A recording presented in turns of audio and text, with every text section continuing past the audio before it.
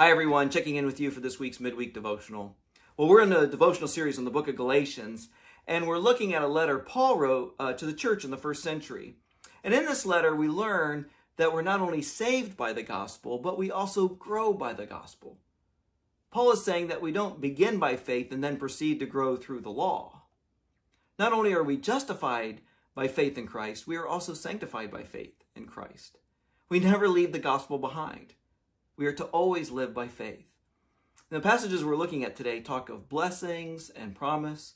So let's take a look. Uh, we're in Galatians chapter 3, and I'm going to read some select verses out of chapter 3. Paul writes, I would like to learn just one thing from you. Did you receive the Spirit by the works of the law, or by believing what you heard? So also Abraham believed God, and it was credited to him as righteousness. Understand then that those who have faith are children of Abraham. Scripture foresaw that God would justify the Gentiles by faith and announce the gospel in advance to Abraham. All nations will be blessed through you. So those who rely on faith are blessed along with Abraham, the man of faith. Clearly, no one who relies on the law is justified before God, because the righteous will live by faith.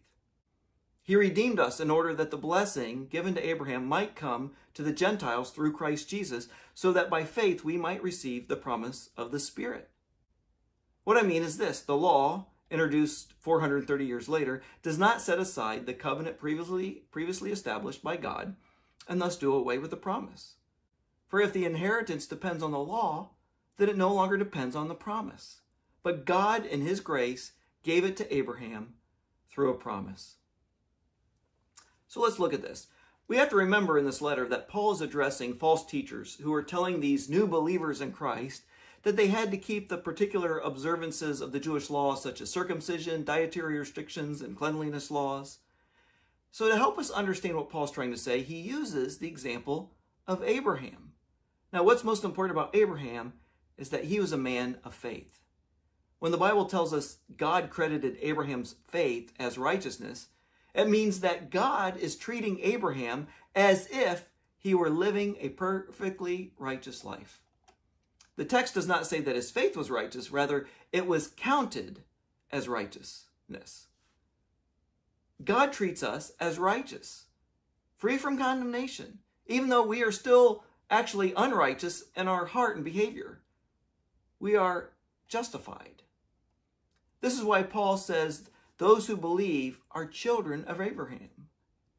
What matters is not physical descent from Abraham, but spiritual descent, that is, having the same faith as he did.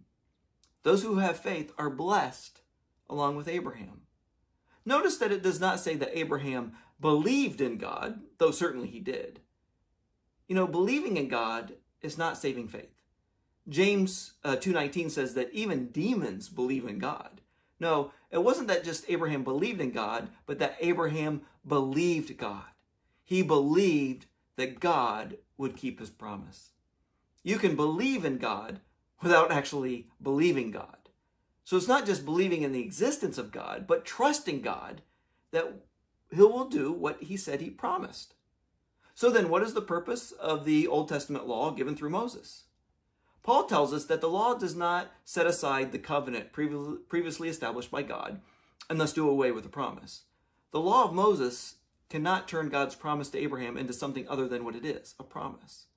So the law must have a different purpose. The law didn't come to tell us about salvation, but about sin. See, its main purpose is to show us our problem. The law shows us our sin. It proves to us that we can't be the solution since we are unable to be perfect law keepers. See, Paul realized that he was a prisoner of sin, helpless to cure himself or, or free himself.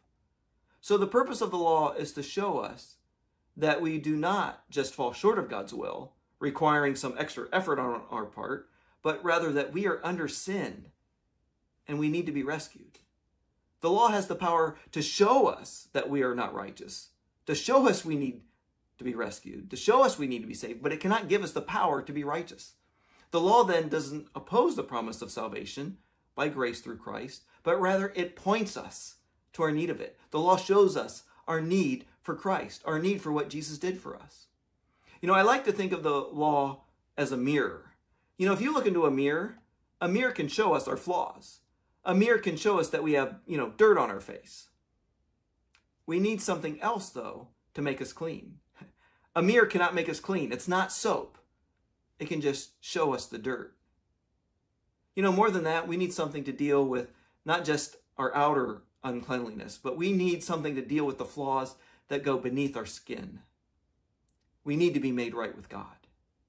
And the Bible says that it is the blood of Christ, his death in our place for our sin, suffering the punishment we deserved, is what makes us clean. It's what makes us right with God because through faith in Christ, we are also given the righteousness of Christ. See, Jesus was the only one who could perfectly keep the law. Jesus does that by giving us his right standing with God when we put our trust in him by faith.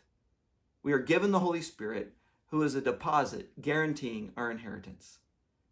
We are accepted by God and adopted into his family and now belong to his kingdom. We receive the promise by faith, just as Abraham did.